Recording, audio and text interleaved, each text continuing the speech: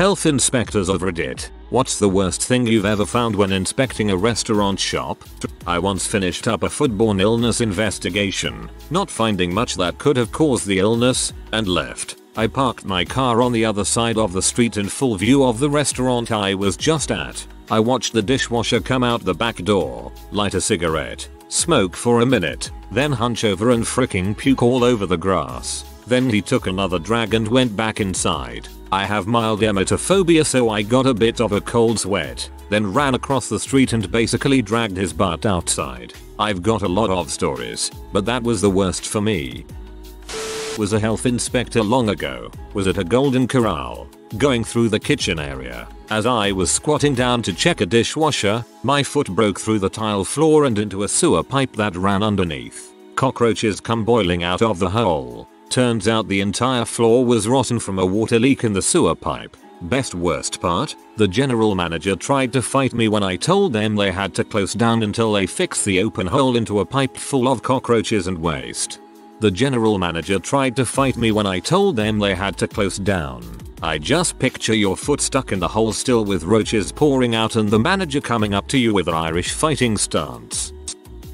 In the mid 80s I managed a pizza delivery store and the health inspector came by kind of late and asked me to step outside. He started by apologizing but it was his job to follow up when they have a specific complaint concerning food safety but this one was odd. He proceeded to tell me a customer complained that while they were in the store two male workers had sex on the counter and didn't even wash their hands. I very dryly responded that couldn't have happened as we always wash our hands after having sex on the cutting table. With a small grin he said that's what he thought and he appreciated our efforts. He was our inspector for several years after that.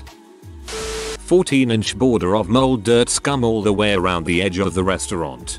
Boxes that had 5 year old shipping labels blocking the path to the mops mop buckets mop sink. No sanitizer buckets. No sanitizer cloths. No sanitizer. Mold in the fans blowing over open food in the cooler. Didn't bother finishing the inspection. Just shut them down late to the party but I used to work on my own as a baker in a supermarket and the cleaners would come in at 10pm at night when the last worker left and he would be finished by 2am when I arrived. Well one day I was half an hour early and I walked up to my department and the cleaner was mopping the prep tables and the equipment with the same water he had used to clean the floor. I wish I was joking. To use the mop on the tables to begin with is stupid but using he same water as well? Insane. I told his boss when he came in because I simply had to and his face was a picture. He really didn't believe me until I got him to have a look on CCTV. Oh I forgot. He wasn't supposed to even touch the machinery. That was my job.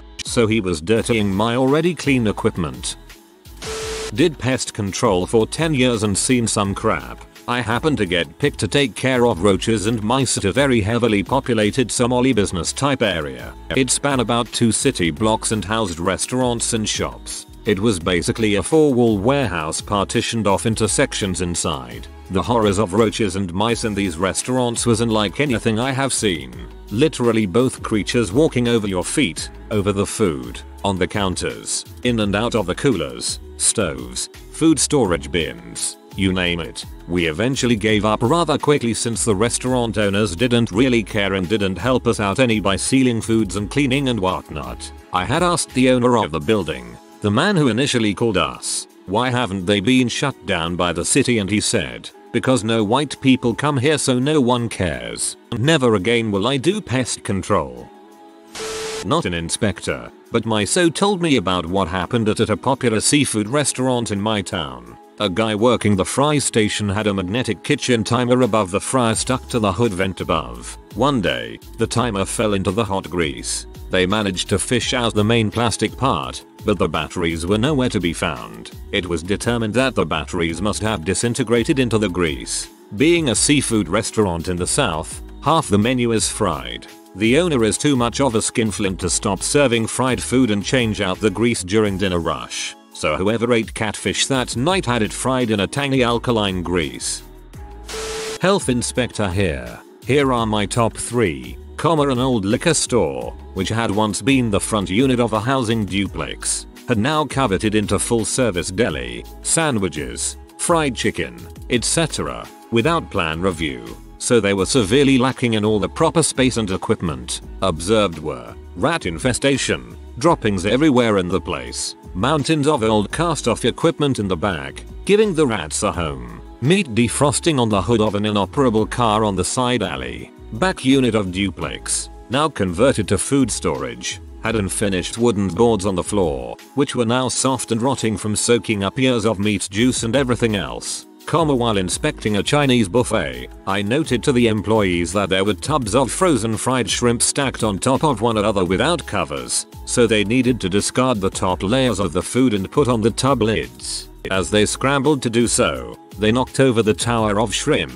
spilling it everywhere. As I was standing there, they hurriedly started scooping the shrimp off the floor and back into the tubs. I'm standing right here you guys. A guy ordered commercial sausage making equipment delivered to his private home. Manufacturer got suspicious and tipped off the health department. Turns out the guy would go hunting all sorts of exotic game meat without permits, process them into sausages in his rat infested garage, droppings the size of jelly beans, and was selling them to the public. Don't buy food from home cooks folks.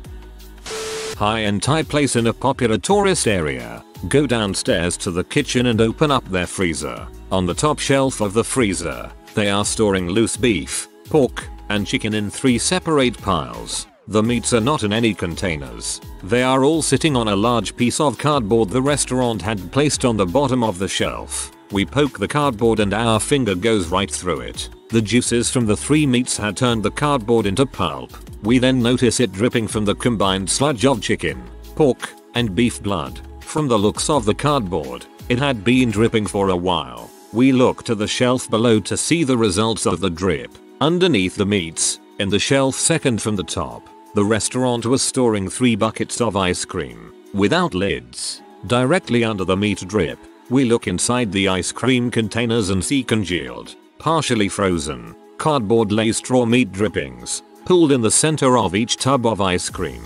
None of the ice creams were more than halfway full. We ask the kitchen manager how long they've been storing their items like this. He doesn't remember. At least a few months. My theory is, because the place was A, a nice restaurant and B, an ethnic restaurant, patrons were less likely to complain about odd flavors. For example, instead of complaining about blood in the ice cream, wondering out loud if that taste is star anise. That's one of the few inspections that made me feel physically sick. Place still got an A because the restaurant grade system in my city is about as effective as TSAR. A tuna canning plant in Los Angeles was off of Terminal Island. The processing plant owned the entire island a few miles offshore. Needless to say, had to take a boat to the plant to look at some machinery they needed repaired. We get to the plant and there are dozens of cats. Inside the plant, outside the plant, warehouse, etc. Cats everywhere. Nobody said anything. They were even in the office building. After a few trips, I finally asked. One guy said in a joke, it's either rats or cats. We don't have a rat problem here.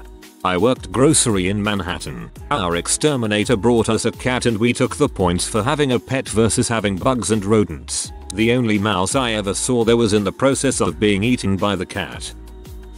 I helped my dad run his restaurant for a good 5 years, and my dad was, and still is to this day, a big fan of people seeing the fresh food as it was made so we never had doors to the kitchen from either customer entry point. Despite my insistence on it, sure enough, it was the only thing the health inspector ever docked us for, and my dad solved the problem by just putting doors in, but never closing them. Not sure why doors are needed since fast food restaurants don't use them. Guys it's my first time in Bangkok, Thailand. I just went on a food tour. I don't know if you know about Bangkok, but it's humid as heck here. Some of the vendors had fish sitting in cardboard, flies, cockroaches, rats, etc. As far as the eye can see, I ate all the food though. I'll let you know if I die. Hi, was in Bangkok a few years ago. I also ate some of that left out cardboard laying fish. It Did not die. I hope the same for you, friend.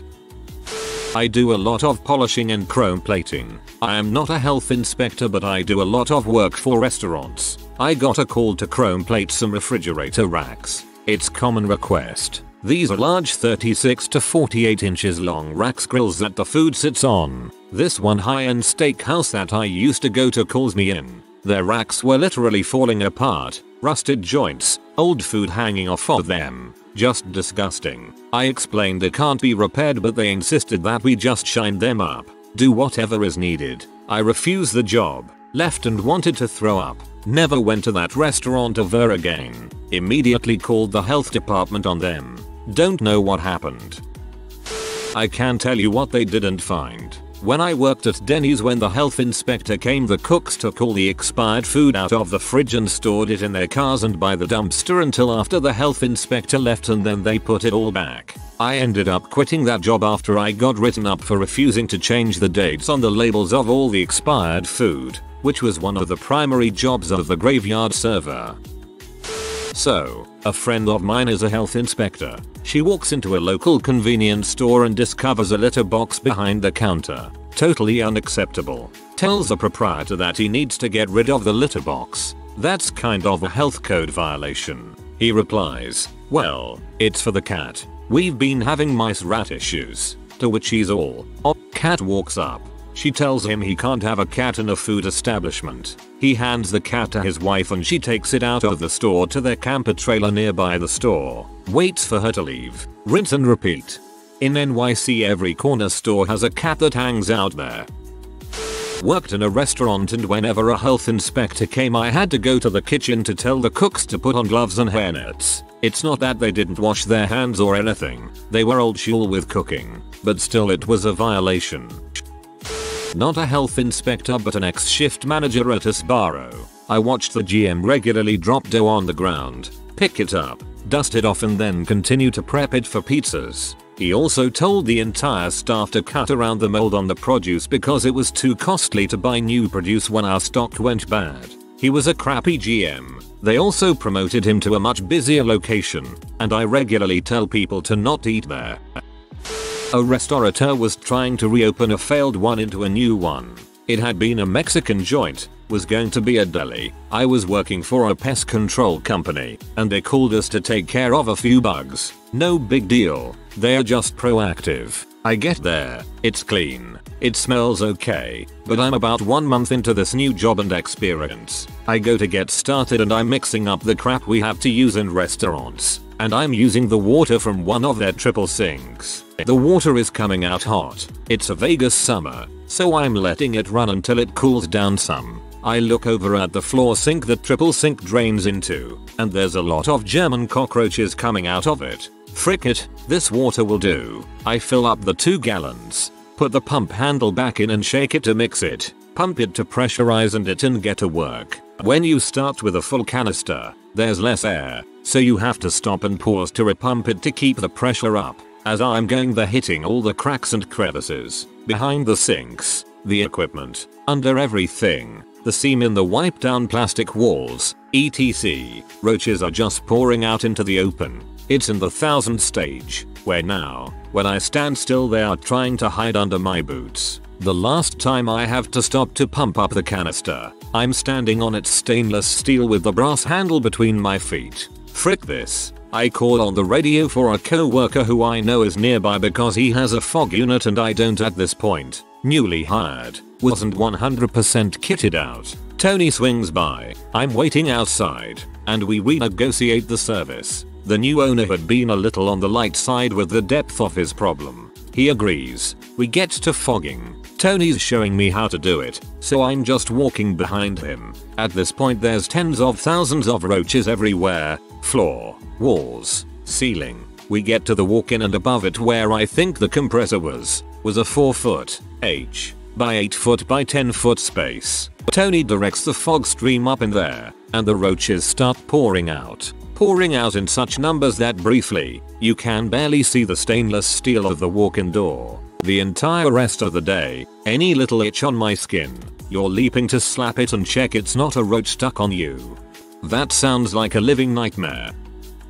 Not a health inspector, but I used to be a busboy at a nice Italian restaurant in my hometown. We had problems with the Chinese place across the street because we found out that they had been taking the lettuce that we throw in the dumpster at the end of the night. Our manager used to stand outside and guard the dumpster so they wouldn't take our garbage. Another experience working at a local cafe. I was cutting up cheese from a walk-in fridge and I found a hole in the cardboard box that the cheese was kept in. Turned out it was from rats or mice and they were eating the cheese. Told my manager about it and he told me to cut around the bite marks and still use the cheese. He left that job shortly after.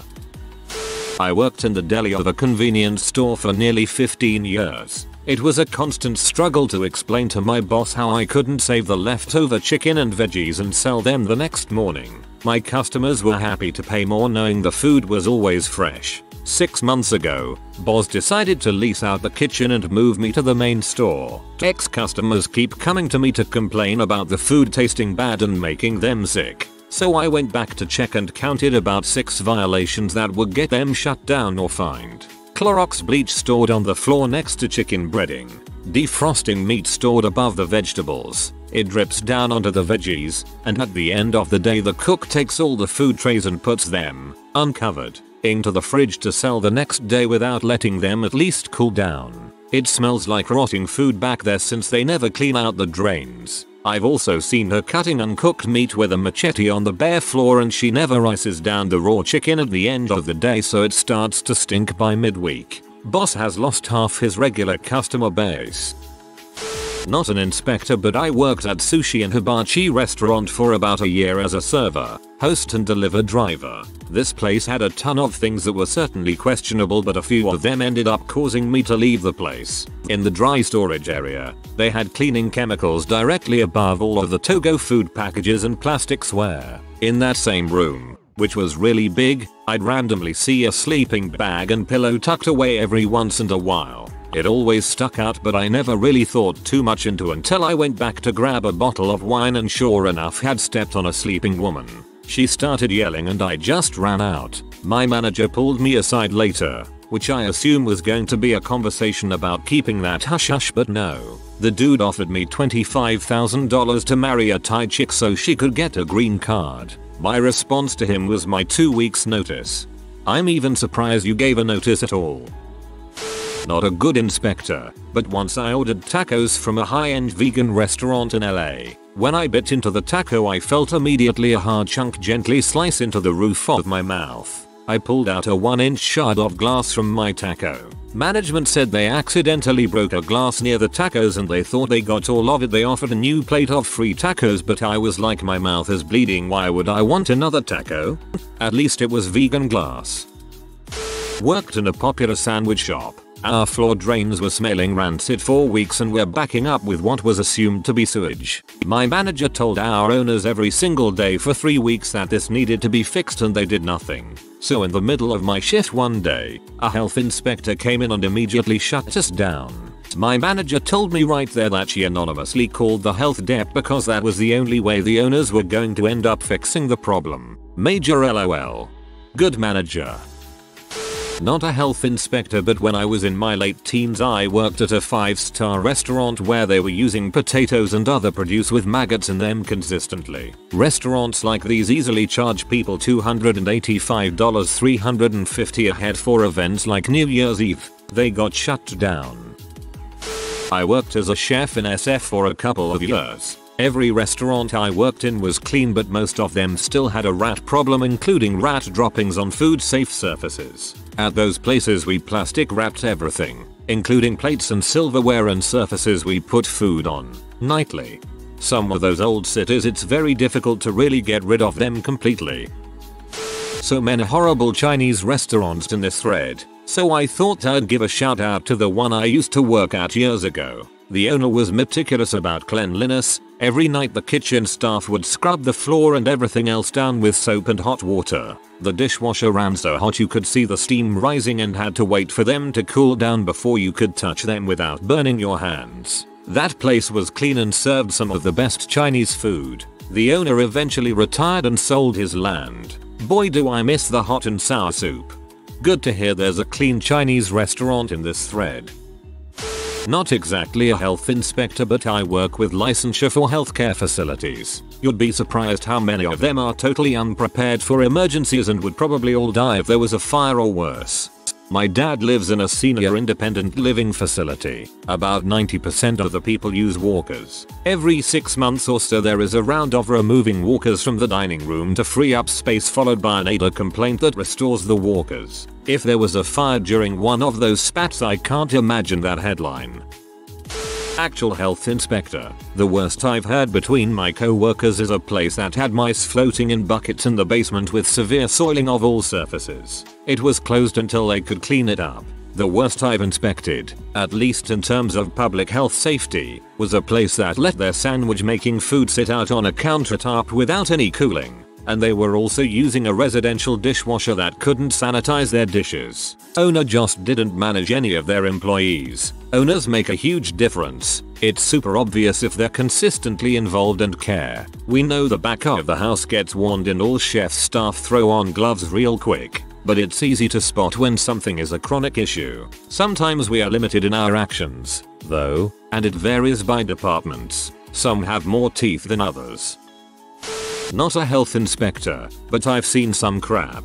The worst was a restaurant a friend took me to. He loved it and said it was on him, but god dang if it wasn't the sketchiest joint. If he hadn't spent the whole trip talking about how he eats there twice a week and loved it so much I probably would have left. The place was disgusting. Mold on the walls, dirty floors, piles of unwashed dishes on the customer tables, etc. When we left I happened to notice the health inspection sign. They'd gotten a 36 stroke 100. I didn't even know it was possible to score that low and stay open. Not a health inspector, but read public health inspection reviews. There was a Burger King near me that had black mold in the ice machine, and large holes in the kitchen where rats had eaten the walls and buried through. There was also a KFC that was cited for having broken glass and other debris on the serving line. I really don't get that one. Our local health inspector told us a funny conversation he had with a restaurant owner. HI. Pulls bug out of already prepared food what's this? Owner, that's a bean. HI. Beans don't have legs. I'm a NY dairy inspector and I inspect a lot of Jewish dairies. What I've noticed is the Jewish community in my area loves to do their own inspection. The problem is they leave milk bulk tank doors open and rats, flies and other critters get into the milk. The big problem is they never ask to do the inspection they just walk onto the property and do their thing. Actions like that can shut down the whole industry. The current kebab shop I work at, everything is clean, well kept, everything is well maintained. The owner has a twin who also decided to open a kebab shop. I went to visit a few weeks ago. The cheesecakes are left in low temperature cupboards rated than freezers, which isn't cold enough so they have bright green mold. Every single egg there is expired. I checked with the egg in water test. The pizza doughs have all gone bad. You can even tell from the smell. There are milk cartons in the fridge that have been there for around 2 months. He offered me to come work there for £9 an hour, which in England is a lot for someone my age. I said no and I don't regret it. A health inspector is gonna come there soon and close it anyway hopefully. Lifeguard here. One time the GMM of chlorine in the baby pool was around 45. The optimal amount is 1-3. The health inspector was not happy about it. This is how you cook the baby. Hello. Walked into a restaurant in the morning before lunch rush and saw the cooks actively prepping raw chicken in the dirty mop sink. The cook said that the cooking process would make it safe to eat. Walked into a taco shop and found a reach down cooler infested with German cockroaches. When I brought it to the owner's attention, he was in denial and said that the health department is constantly trying to pick on the little guys. As he was talking, a full adult cockroach appeared on the counter and without hesitation, he took the knife used to cut burritos, stabbed it then began to place the knife back to its original location. Received a complaint of a heavy grease smell coming from a restaurant. Showed up and saw that the owner had been dumping grease outside because his drains were clogged and backing up. Saw that every floor drain he had was actively overflowing and there was sewage all over the floor. Since his drain lines were installed incorrectly, all of the sewage water back siphoned into the ice machine and food prep sink. While this was all happening, they were still serving food and taking orders as if it wasn't a big deal. The cook would cut chicken, then switch to use a plunger on the drains then back to cutting chicken without ever washing his hands. Walked into a market with a owner who was visibly nervous. As we were talking, I noticed a large amount of blood in the drains. There was also a lot of black bags containing meat products with no labels or proof of where they purchased it. As I lifted the drain cover, there was blood and bones inside. Later found out that the staff were bringing live goats into the kitchen and killing them on site. If you are new to the channel, you can subscribe. I publish new videos every day. Until then, check another video.